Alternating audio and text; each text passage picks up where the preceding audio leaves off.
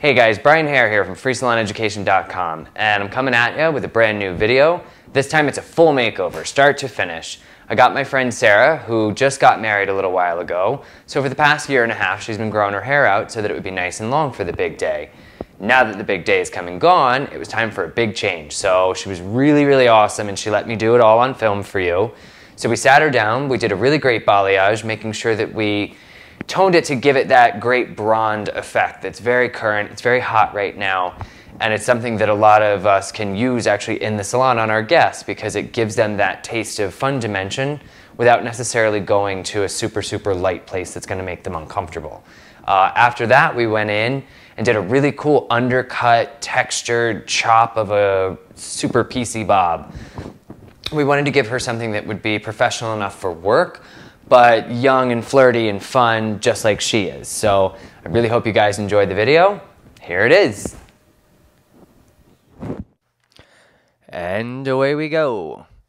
I got her sectioned off here. Um, just so that I could go ahead and take off some of the unnecessary length because I know I'm going to be doing a hand painting. So I would rather have the hair generally in a similar length to where we're going to end up. Just that way I as I paint my sections, it's going to be a little bit more realistic. So went ahead, did a fun little dry cut. Plus, she wanted to donate the hair, so I had it all in nice rubber bands for her and got it ready to go. Uh, just a little heads up uh, on this video, you'll notice as we get a little bit further into it that I have sped up the speed because when it comes to the balayage, I uh, I am basically doing the same application technique, just on different sections of the head. So I have my sections all, you know, planned out so you can see them. It's just going to be sped up a little bit because I am applying it the same way every time. Uh, you'll also notice in this video that my mouth is moving, and sometimes I even reference the camera, but you can't hear anything. And that's because I was unaware that I didn't turn the microphone on. So you're getting a voiceover video instead. So all that's out of the way. Here we go. Uh, I have her sectioned off based on her net on her actual part where she wears her hair, because that's where I like the highlights to live. That's how she's gonna part it. That's how she's gonna wear it. So I want to make sure that it looks its best, and I think that's gonna be a really a really uh, successful way to set yourself up is to go off of their actual part. So since this is going to be an undercut, I'm not starting down at the nape of the neck because I know that all of that hair is going to be removed in the haircut. So I started up at what's going to be actually left after her cut, and I know that it's going to be right around this area here. So I'm taking sections that are flat on the top and actually dip down a little bit, almost like drawing a triangle, an upside down triangle on the scalp, and then pulling that section straight out from the head because I'm painting these framed pieces at the top of the uh, the triangle section. What that's going to do when I let go of the hair and lay it down, that hair underneath is going to buckle, which is going to create I don't know, a nice little cushion so that my sections will not press too hard on the sections underneath it.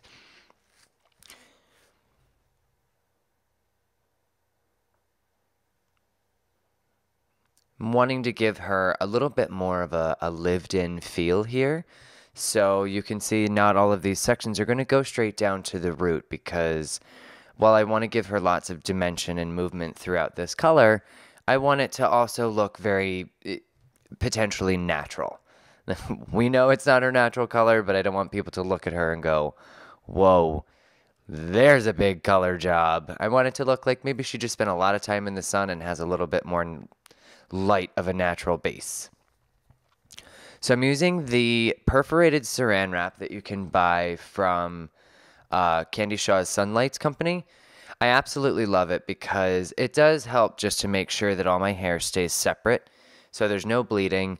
And it also just helps to create a nice little environment in there so that your lightener doesn't dry out or anything like that. It's uh, it's really become a lifesaver because I can't rip saran wrap to save my life. So having those nice perforations in there make it much faster, much more successful, much easier to handle. So I definitely recommend picking some of that up. Uh, yeah, the Sunlights Company. Very easy to find online, and they have different lengths. I know that they uh, they made it so that if it's you're to actually hold it the other way, so that like I held I put it on there the long ways very vertically. It's meant to use horizontally. It's just force a habit. That's what I started doing, and so that's for some reason what I continue to do. So here we go. We're working into it. You can see this is where I've started to speed up the sections a little bit.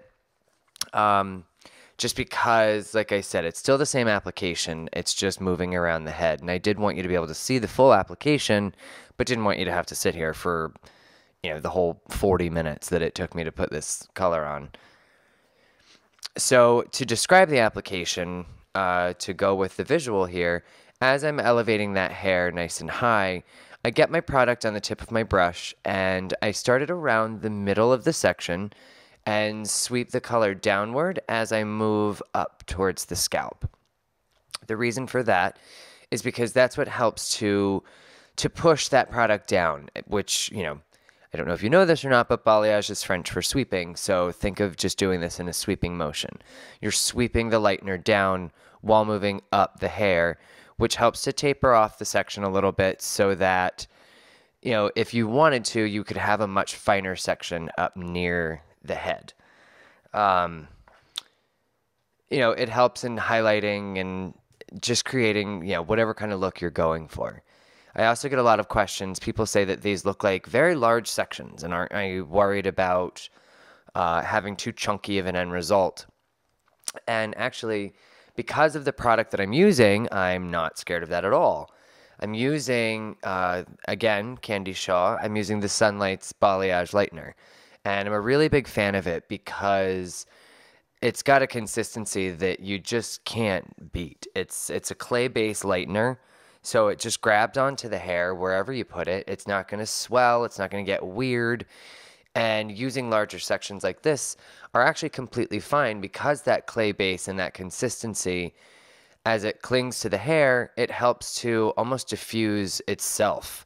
So you know, it's it it adds a little bit of extra style to what you already do. So I put that nice big fat section on there, but it's going to diffuse itself away and not be too stripy or harsh of a look. It's a really really superior product. You definitely got to check it out if you haven't played with it yet.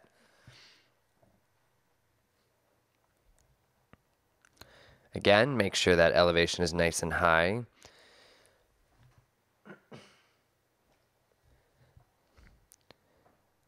There's a technique that I use that I, I often refer to when I teach about balayage, and it's called force perspective. If you've watched any of my other videos, you've heard me talk about it before. It's uh, it's a technique used in art, everything from paintings and drawings to architecture, architecture, and now we use it in hair, and I'm just calling it out. Uh, force perspective is when you create three dimensions on a two dimensional plane by having, you know, your lines come together. it's a very crude description of it, I think. But if you think of a long hallway and you've got the two lines that are on either side of the floor and the two lines that are on either side of the ceiling, if you stare straight down that hallway, eventually those four lines come together. That's what forced perspective is, and that's how we're creating a nice seamless balayage in the hair.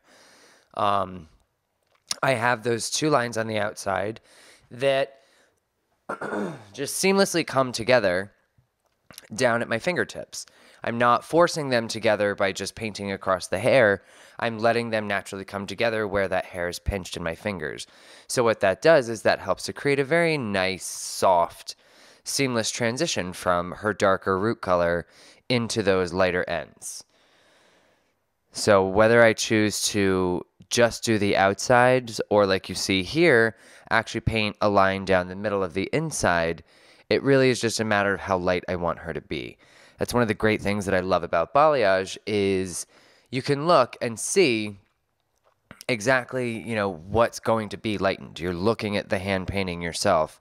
So you can see you know, do I need to cool it on the next section because I just put a lot of blonde in, or do I need to pick up the pace? You know, it's whatever whatever you want this end result to be. As you see, I come in, one very important area for me is to always make sure you get that little sideburn area because, you know, this day and age, people pull their hair up constantly, whether it's for work or for the gym or to get it out of their face or whatever. That's a very common thing is women need to pull their hair up and have their hair still look good. What I like about balayage is it doesn't give too harsh of an end result. So you can get right in there on the hairline. And so long as you get that angle down when she pulls her hair back, it's going to still be highlighted without being too harsh. So I lifted up that sideburn section and actually painted the underside of it because I want to make sure that that pop, you know, happens when the hair goes up as well. As I work around the face, I always make sure that the sections closest to the hairline on the face go as close to the head as possible because in all actuality were this a strictly sun lightened effect that would be the lightest. It tends to be finer hair so it gets really light in the sun. If you think of like a, a small child like a little girl who just spent all summer running around that hair around her face is going to be so much lighter. And that's really the effect that we're trying to create by by painting this in I wanted to make sure that I get lots of blonde around that face because I did put quite a bit in the back there. So I, I, I really kick it up an extra notch as we get to the front of the head. As we finish up, make sure as you get up around the top of the head that you're still paying attention to elevation. You know, holding it straight towards your chest isn't the same elevation anymore because now you're at the top of the head. So really focus on making sure that you, you get that hair up there, get that lift so that you know you have a nice even consistency throughout the entire job that you're doing there. Again, start framing that section, going the, the outsides of the triangle, letting the lines naturally come together at my fingertips. I use the paddle, also from Sunlights. Thank you, Sunlights, for making this so easy for me. I use the paddle to hold it so that I can make sure that I get those ends perfectly saturated and covered because I really want her to just be light. We're going for that bronde, so I got to do it all. My favorite pieces to do are those pieces right at the part, right around the face, whether they've got bangs or just layers around the face. I love it because that's always in my opinion, supposed to be the lightest. I always refer to them as the Sarah Jessica Parker pieces because if you look at her, as long as she's been a blonde, that's always where the highest concentration of her blonde is. Even there are times she's got dark hair, but still has those pieces right on the part, right around the face, super light. It makes a world of difference. Which is also why it's very important, again, to go off of their part. If it's somebody that says, oh, well, my part moves around, well, then ask them where it tends to be the most, or go with where it, it was when they walked in. Play it safe, play it smart. We know how this works. Again, creating that center line to really make sure. And see, you look there, you see that negative space, that dark hair. That's going to be the dark to lightened ratio when she's finished this section, I really wanted to make sure that it was ultra saturated. So I even lifted it up and went underneath because more than wanting this piece to diffuse out, I wanted that top piece right on the part to be really light. So I let it pierce through on both sides. Let me lay it down, do that front favorite piece of mine.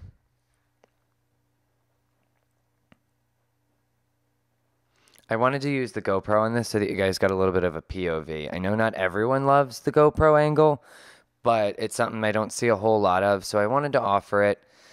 If you don't like it, eh, eh, close your eyes, I guess, until you get to the parts that aren't GoPro. But I wanted you to see because you know, there's so many angles that are so important in this, and now you guys get this angle to see how high I'm lifting the hair and you've got the GoPro angle to see at what angle I'm painting onto the section. So now there's options. This I just went ahead and sped way up because, again, I'm, I'm not doing anything crazy different than I've done on the entire rest of the head, and these are just the last couple of sections. Uh, I processed her. The other good thing about the cellophane, I processed her until it looked done, until I knew that it was light enough for me to tone it. Um, I, I do mention it later. I used the Paul Mitchell PM Shines 9A as her toner because I didn't want to completely eradicate the warmth, but I wanted to get rid of the unnecessary brassiness. Like the, I wanted to tone down the oranger tones and, you know, not really, I didn't, I didn't want to make it an ashy overall color. I just wanted it to be a nice natural warmth.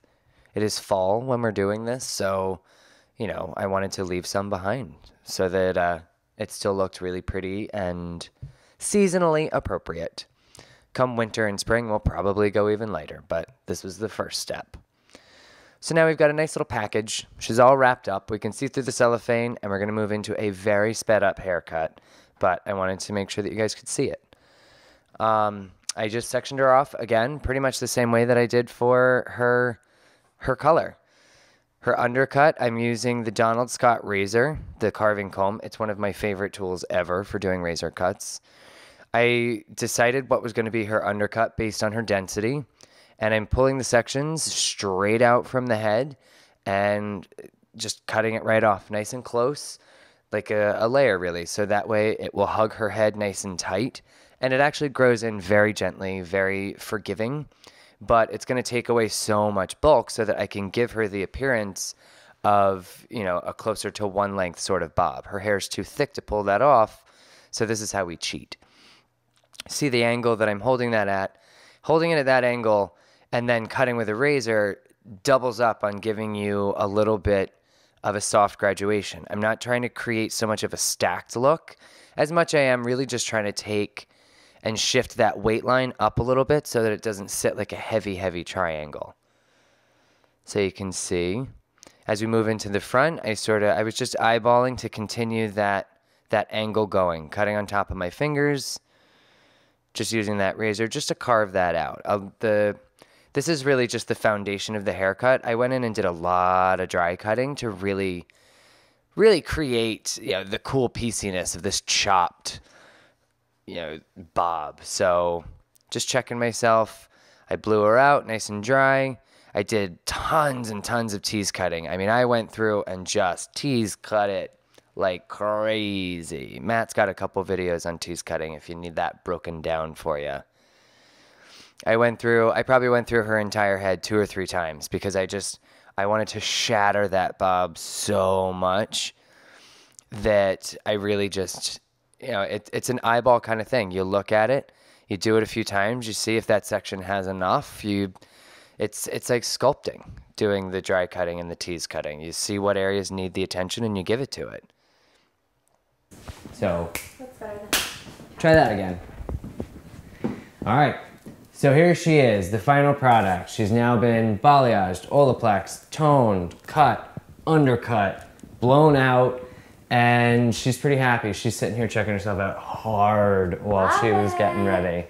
So as you can see, it sort of, that color lives in that realm of, do we consider it blonde? Do we consider it brown? Which is the definition of blonde, which is very in right now. Uh, to tone her, I just used, she lifted to a pretty golden, a slightly orange in places, but probably in that eight anywhere from 8 to 10 range, depending on what uh, whether the color was previously lightened or not.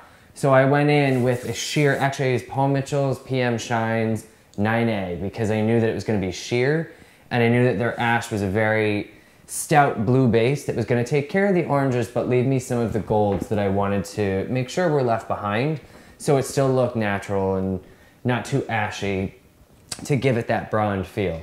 And if you check, we've got our nice little undercut under there. It's her little secret. So we've got this fabulous look. Let's give her a spin so you can see the full thing. Look at that smile. and she's happy as can be. And the last, the final thing that we checked, she can still get it into a teeny tiny little ponytail. So she's happy as can be. So there it is. We're gonna style her up with a couple more looks for you so you can see it with a little bit of the tousled curl. You've seen it straight. So thank you very much. Be sure to subscribe to us uh, right here on YouTube. Check us out at freesaloneducation.com. Check me out on Instagram. My name is Hairstyle with an E. Uh, thank you very much. We'll see you soon.